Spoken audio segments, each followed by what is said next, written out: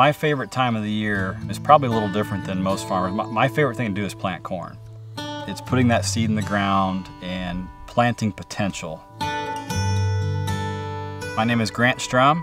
I farm with my family on Strom Farms, which is located in Dahinda, Illinois. Uh, we grow corn, soybeans, a little bit of hay and alfalfa, and some cattle. The legacy of our farm uh, dates back about four generations. When I started farming in 2003, it was my father, my grandfather, myself, we're all farming full-time together. Well, good morning. Good morning. Beautiful day. Everybody at the farm here has their own role. Uh, I'm definitely the technical guy when it comes to analyzing data, making decisions about returns. When I walk out the office door and I get outside, dad's in charge most of the time and that's that's great because the tradition and the way it's changed from my grandfather to myself it's always been a team effort. You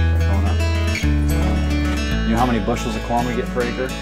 Won't be long a couple months we'll be going the thing i'm most proud of about our farm is how we treat the land. We we fertilize based on need and timing and placement. We don't want the nitrates or phosphates running into the groundwater. So having a sustainable practice in place is extremely important to our farm.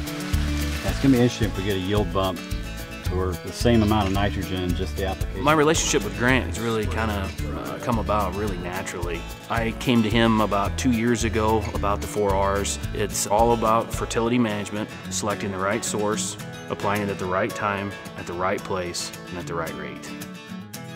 The 4R system has brought a lot of different changes in application and ways we apply fertilizer and the timing in which we apply that fertilizer.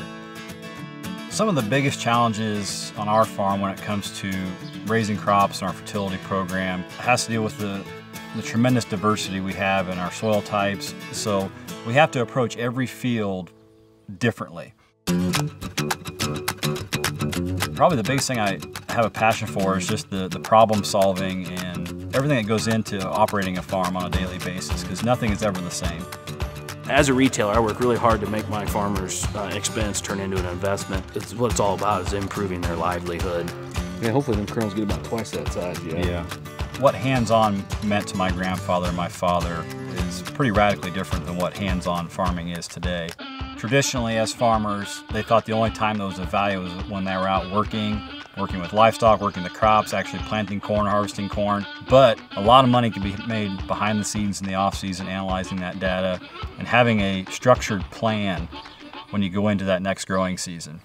You know, back in my days, it was labor, labor, labor, and now it there's, was. there's a lot more farmers or businessmen, we're not doing anything that uh, we don't feel we're getting an economical return on. And the 4Rs are going to make each individual farmer's operation more sound and economically profitable.